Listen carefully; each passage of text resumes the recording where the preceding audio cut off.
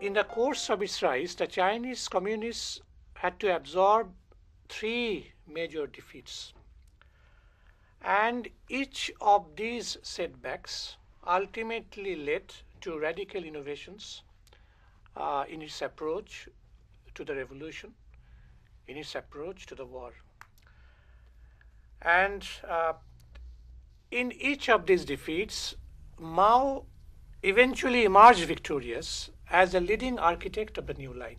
The first setback came in 1927 when there was a massacre of the Chinese communists, and that was followed by the uh, end of the First United Front. After that, there was the, the Mao adopted the policy of the uh, uh, agrarian revolution. The second defeat came after the destruction of the Kiangsi Soviet uh, on the Chingkangshan mountain. That led to the Long March, of course, and the Chinese party realized the need for anti-Japanese war. And the third uh, setback came uh, while they had been fighting the Japanese during the anti-Japanese war. There were major setbacks, and that was followed by the adoption of mass line, which again, of which again Mao was the architect. Now, from the beginning of 1940, the whole of North China was faced with terrible military and economic crisis. The whole area, the insurgent base area, these were blockaded by the Japanese troops. It was very difficult to get salt and other essential goods from outside. There was scarcity of essential goods inside the base areas. And a time came when uh, people started to feel whether such revolution would at all be successful. So there was faltering within the ranks of the CPC. And there was also criticism of the policy of the new democratic revolution. Uh, and that came also from inside the party. And at that critical juncture, Mao initiated the rectification movement, which is also known in Chinese as a Chengfeng movement. And the period was 1942 to 1944. Now, the Chengfeng movement essentially was a uh, cadre training program. It marked a turning point in the history of the Chinese Communist movement. In fact, the main aim of the Chengfeng was to build the Chinese Communist Party on a unified basis, committed to common goals, common aims, and common methods. It was a Marxist movement, no doubt, but side by side, the emphasis was on the creative application of Marxism to the concrete situation in China rather than any mechanical application of it. You should have the party emphasize the fact that it should be not applied mechanically, but it should be applied in a creative manner. Now, one of the fundamental aspects of Mao Zedong thought was the belief that men could transcend the limitations of class. If a person came from middle class background, when he went to the countryside to integrate himself with the uh, himself or herself with the peasantry, then in course of social practice, in course of the of his integration with the people living in the villages, he gets declassed. He remolds his outlook and he transcends the limitations of his own class. Now, uh, that was, of course, uh, uh, one major uh, object which Mao had in his mind during this period. And as a matter of fact, uh, the situation was very grave from the point of view of revolution because there were attacks from all sides, and every day there were many casualties, many people died. And so the pressures from the enemy increased with every passing day. And there was, of course, a tendency to waver, tendency to capitulate before the enemy. So these tendencies were there. Now, the aim of this Chengfeng movement was to strengthen the party cadres so that uh, in the face of hardships, in the face of enemy attacks, they uh, could stand firm on their own feet and face the enemy. And there should also be broadening of their commitment to the revolutionary cause. One point is this during the anti Japanese war, many patriotic people came, people who did not come earlier, people who did not join the Communist Party, but who came to the countryside when, when because they, they realized that it was high time that they should fight unitedly against the foreign enemy. Now, now when there would be end of anti-Japanese war after the defeat of Japan, what would happen? Now, should those people who came to Yan'an fame, came to the countryside to join the forces against Japan, again go back to the cities? Or should they continue to stay back in the villages and pursue a new form of struggle that is an agrarian revolution, this time against a new enemy that is Chiang Kai-shek and the Kuomintang, against the bourgeoisie. That was the question. Now the aim of the Cheng Feng was to broaden their outlook so that they could look beyond anti-Japanese struggle and they could also uh, join this struggle against a new enemy, that is the Kuomintang, that is the feudal forces. So the aim of the Cheng Feng was to politically unify them, uh, do something, educate them so that they became politically mature, politically conscious. And so they could also think beyond anti-Japanese struggle. Now, Mao held that the Cheng Feng movement was a successful method to resolve problems. Uh, he wrote an important essay on the correct handling of contradictions among the people at that time. And there he said that the method of unity, criticism, unity was the most democratic method. Whenever any comrade committed some errors, one has to rectify his mistake. One has to help him rectify his mistakes. So the need was to start with the object of unity. And then there would be discussion ideological struggle. And there was, of course, there will be pressure on the erring comrade. But the aim would be to forge a new unity on a new basis, not to uh, get rid of him, not to expel him from the party or from any, any forum. But the aim would be to help him rectify his mistakes and so that he could be ideologically unified he could be strengthened from the ideological point of view so that party could be more, uh, on, more coherent. And it is pertinent to point out that Mao had been adopting these methods at a time, these methods of persuasion at a time when Stalin in the Soviet Union failed to make any distinction between the people and the enemy.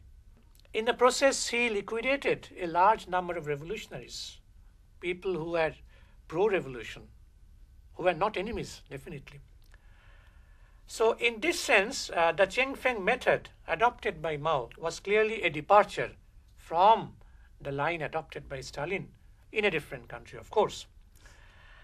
And uh, uh, there was side by side, there was an educational program also. Newer and newer texts were suggested for reading. And within the texts were included Mao's On contradiction and practice, both of which were regarded as Mao's original contribution to Marxism Leninism, philosophical contributions to Marxism, Leninism.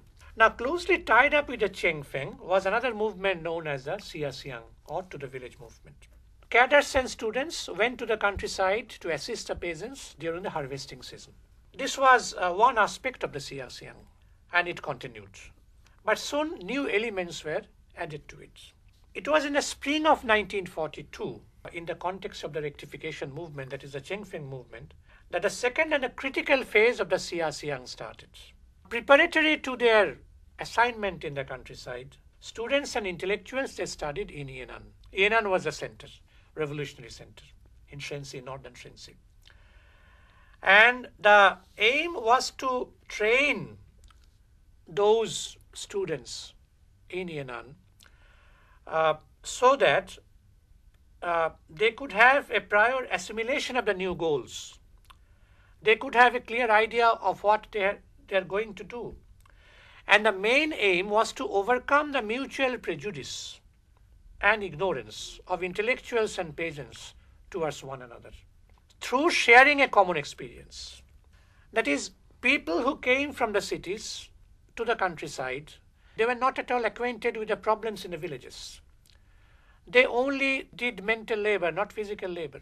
They hardly took part in economic struggle for economic struggle for production or class struggle, hardly. On the other hand, the peasants, since they could not read and write, they were illiterate, so they could not do scientific experiments. But they definitely took part in class struggle and economic and struggle for production. So when these two sections of people uh, came together, there was a process of uh, learning started from both sides.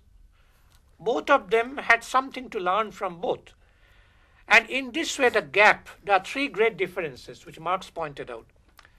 That particularly uh, the third one, that is the difference between mental labor and physical labor, apart from town and country and worker and peasant, it came to be reduced because who did not take part in mental labor now could take part in mental labor when he became literate. On the other hand, the town dwelling people did not take part in physical labor, but now when they came to Yan'an, they had to take part in production, tilling the soil, etc., various types of productive work. So they also learned something. So in this way, they kept. So is one single person now was doing both physical labor and, and mental labor, both the people. So in this way, the difference came to be minimized. There was a reduction in the difference between mental labor and physical labor. Now, the Siya had another important uh, element related to culture. The people who came from the cities, uh, they were educated people, they were intellectuals, most of them. And uh, there were many artists, writers.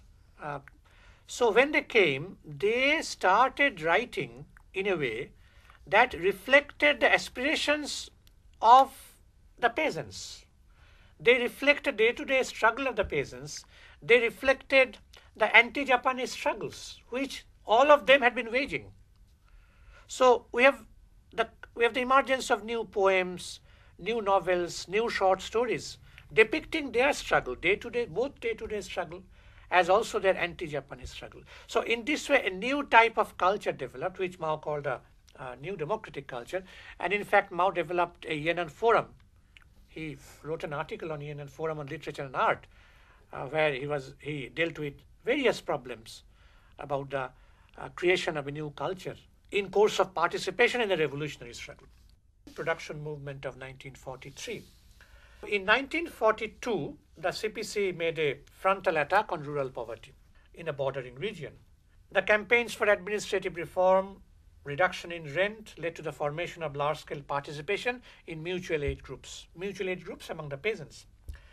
And these subsequently became the nucleus, new forms of social and political life in the base areas. And these in turn contribute, contributed to the growth of rural cooperatives and the production movement of 1943. The aim of the CPC was to set up a self-sufficient and prosperous economy that would cater to the needs of the people, to the interests of the people, improve their living conditions on cooperative basis. And this was known as the production war. And a number of innovations were attempted during that period and the most important of which was the organizational production. Now, it was made clear that all the persons, whether he was a party person, irrespective of his rank, or a Red Army or a soldier, or peasant association member, or any other person, an administrator, administrative official, all of them would have to take part in production. And in fact, in Edgar Snow's book, Red Star over China, there is a mention of Saturday brigades. Saturday brigades means that every Saturday, all the people, starting from Mao right down to the cadre, they would have to take part in physical labor. Would devote some time, some hours of the day to doing physical labor, to do productive work. Now, by so doing, again, the gap between the leader and the led, between the cadre and the people, that got reduced to a large extent. And a sense of solidarity develops among them. It strengthens solidarity uh, among those people, between the leaders and the people, between the cadre and the people, between the army and the civilians. And uh, through the unification of mental and physical labor. During the same period, there was a senior cadres conference. And there, Mao advocated, in the virtual absence of capital, a labor intensive development program. It was a new model of development. We have a new developmental model, unlike the Western model of development. And that new model of development involved the mobilization of the people and the rural sector. All the material and human resources were to be channelized, uh, were to be utilized to the best possible extent, uh, and their physical efforts were channelized into cooperative ventures. Now, while proposing this labor intensive development program, Mao had to fight against two deviations. There were two important deviations that cropped up. Now, one section within the party uh, believed that in such backward countries, such as the Chinese countryside, there could hardly be any economic development. It was not possible to initiate any development program in the countryside of China because it is simply backward. So that was one deviation. And the other deviation was the view that all resources should be immediately channelized into the development of heavy industry and not into that of agriculture and light industry. Mao naturally had to fight against both these deviations and he pointed out that of course developmental work was possible in backward areas.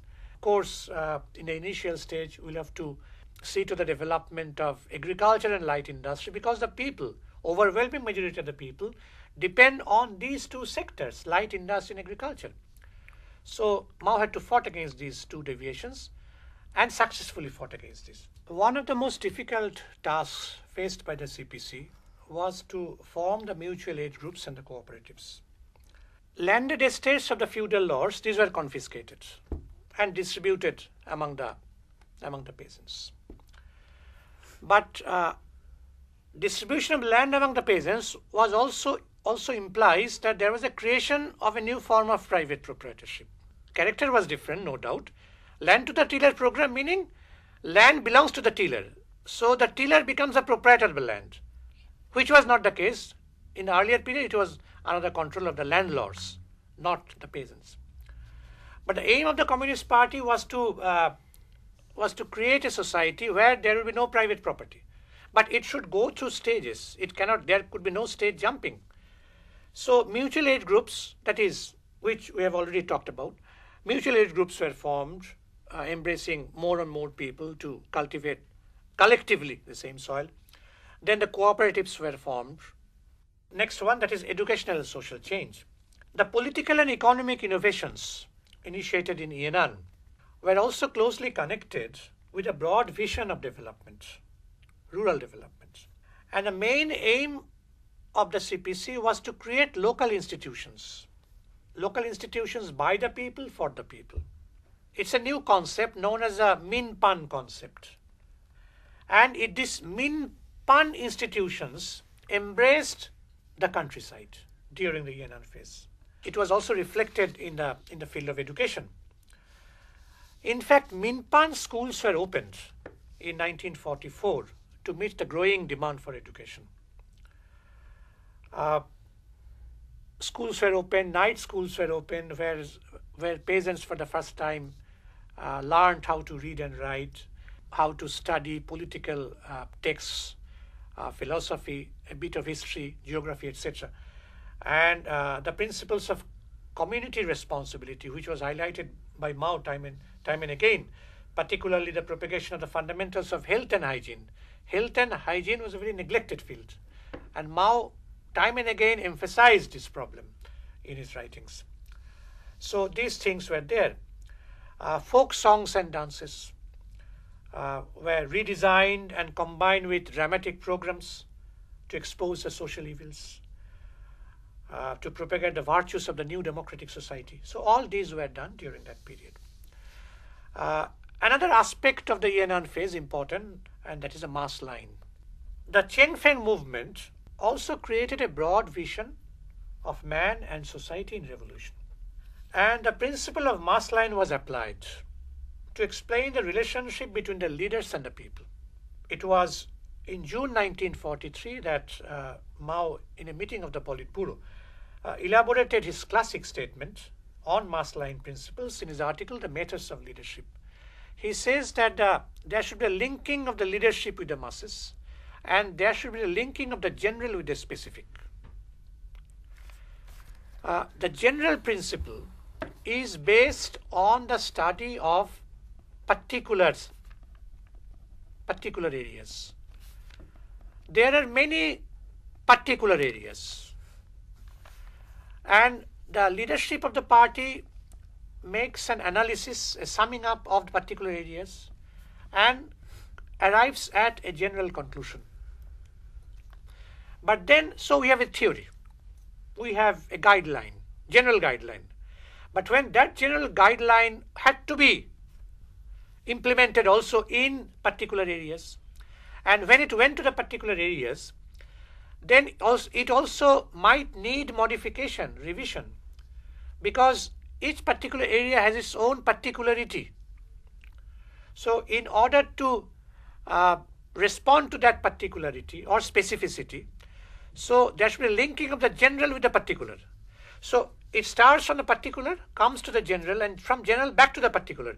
And it's a process, ongoing process. It never ends. This is one thing. And other is the linking of the leadership with the masses. Of course, the leaders are they are expected to guide the people, but they should also be guided by the people themselves because they come from the people through struggle, and they should always go back to the people to share their experiences with them, and the leadership would also have to learn from the people all the time. So it, it is also never ending the relationship between leader and the people, between the people and the leader, is also never ending. So these things were explained in his uh, uh, in his article, "The Methods of Leadership." And in fact, during the period also, uh, new values of life also uh, developed. There was a creation of a new society, and along with it, there was a creation of new values also. It was the idea of a new society which uh, we should put human values over everything else. We should not go for uh, profits, as was the case in the Western capitalist world, but it would see to the interest, genuine interest of the people. It was very much a pro-people model of development and not a profit-making model of development. Seventh Congress of the CPC. It was held in 1945 in Yan'an. 17 years after the Sixth Congress was held in Moscow in 1928. And Mao Zedong described it as a Congress of victories. By the time of the Seventh Congress, Mao's ideological authority had already been established. Mao Zedong thought had already come to be introduced uh, in the political circles throughout the country. And the membership of the party, the membership of the Red Army, increased to a large extent. And uh, the CPC had, had got transformed from a national force into an international force. That brings us to the last phase, that is the liberation war. After the Japanese surrender, the second, the anti-Japanese struggle was over. So there was no more, uh, no more need for the second united front because now, back to the same situation, war against Chiang Kai-shek and the Kuomintang. That continued from 1945 to 1949, and it ended uh, in the defeat of Chiang Kai-shek. He fled to Taiwan and on 1st October 1949, the People's Republic of China was proclaimed by Mao. And its proclamation marked the end of the anti imperialist, anti feudal struggle, uh, the attainment of the new democratic revolution, and the setting up of the People's Republic of China. And uh, that led to the next stage, that is the stage of socialist revolution. So you told that uh, mass lines linked the general with the specific. Can you please elaborate this statement? Whenever you study any situation, you start with a particular area and the, and then you make studies of many particular areas and after that you make a summing up and then come to a, a conclusion a general you can generalize you can generalize only after summing up the experiences of different particular conditions. So then you form a theory about that area or the, the region, the larger area. But you will have to go back again to particular areas either those areas or new areas. And and it it might happen that you will have to change your conclusion. You might have to revise, modify your statements. So so it's a process. So you start from the particular, come to the general, and then go back to the particular again, and then come to the, back to the general again. Because in course of doing this, this general, particular, general, specific, etc., you are gaining in knowledge. Same is true for the Communist Party. They are making the study a particular, as for example, when Mao just joined the Communist Party, he knew some areas of Hunan and nothing else. He, may, he made studies of Hunan, not all. Hunan is a very vast province.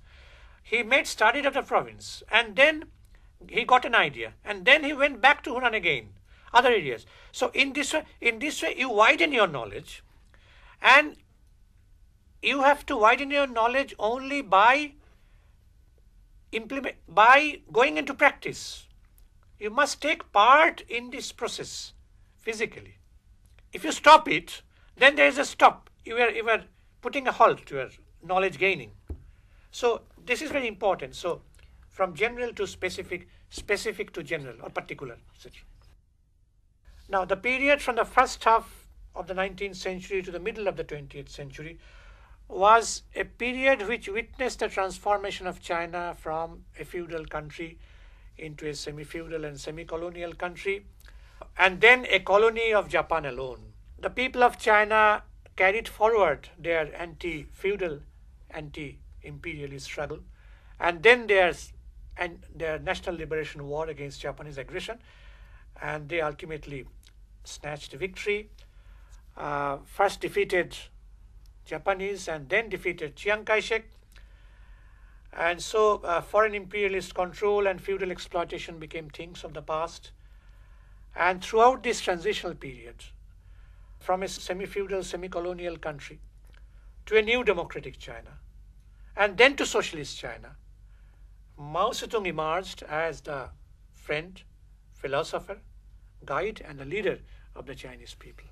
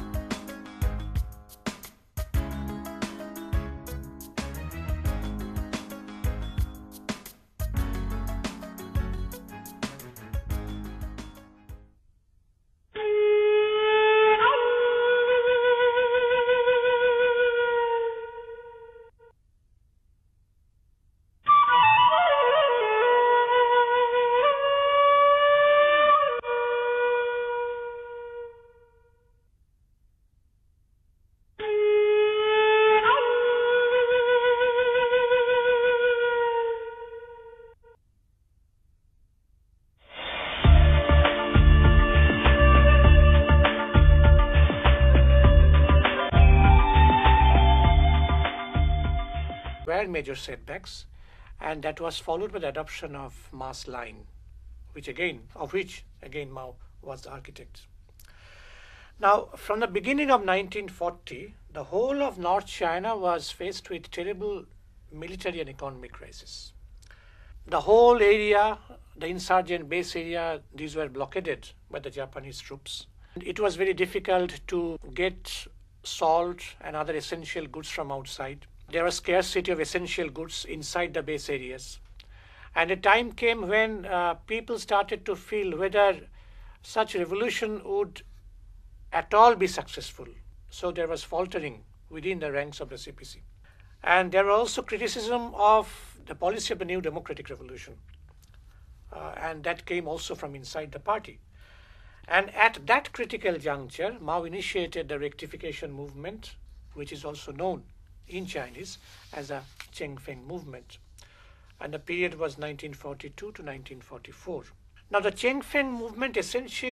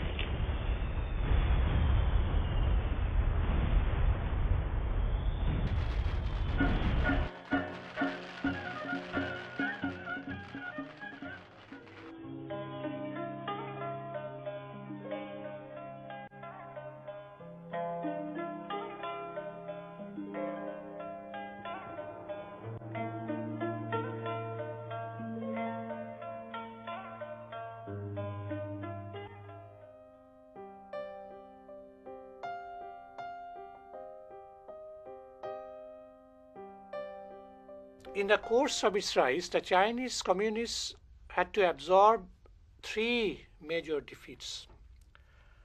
And each of these setbacks ultimately led to radical innovations uh, in its approach to the revolution, in its approach to the war. And uh, in each of these defeats, Mao eventually emerged victorious as a leading architect of the new line. The first setback came in 1927 when there was a massacre of the Chinese communists, and that was followed by the uh, end of the First United Front. After that, there was the, the Mao adopted the policy of the uh, uh, agrarian revolution. The second defeat came after the destruction of the Kiangsi Soviet uh, on the Chingkangshan mountain. That led to the Long March, of course, and the Chinese party realized the need for anti-Japanese war. And the third uh, setback came uh, while they had been fighting the Japanese during the anti-Japanese war. There really was a uh, cadre training program. It marked a turning point in the history of the Chinese Communist movement. In fact, the main aim of the Chengfeng was to build the Chinese Communist Party on a unified basis, committed to common goals, common aims, and common methods. It was a Marxist movement, no doubt, but side by side, the emphasis was on the creative application of Marxism to the concrete situation in China rather than any mechanical application of it. You should have the party emphasize the fact that it should be not applied mechanically, but it should be applied in a creative manner. Now, one of the fundamental aspects of Mao Zedong thought was the belief that men could transcend the limitations of class. If a person came from middle class background, when he went to the countryside to integrate uh, himself with the, uh, himself or herself with the peasantry, then in course of social practice, in course of the of his integration with the people living in the villages, he gets declassed. He remolds his outlook and he transcends the limitations of his own class. Now, uh, that was, of course, uh, uh, one major uh, object which Mao had in his mind during this period. And as a matter of fact, uh, the situation was very grave from the point of view of revolution because there were attacks from all sides, and every day there were many casualties, many people died. And so the pressures from the enemy increased with every passing day. And there was, of course, a tendency to waver, tendency to capitulate before the enemy. So these tendencies were there. Now, the aim of this Chengfeng movement was to strengthen the party cadres so that uh,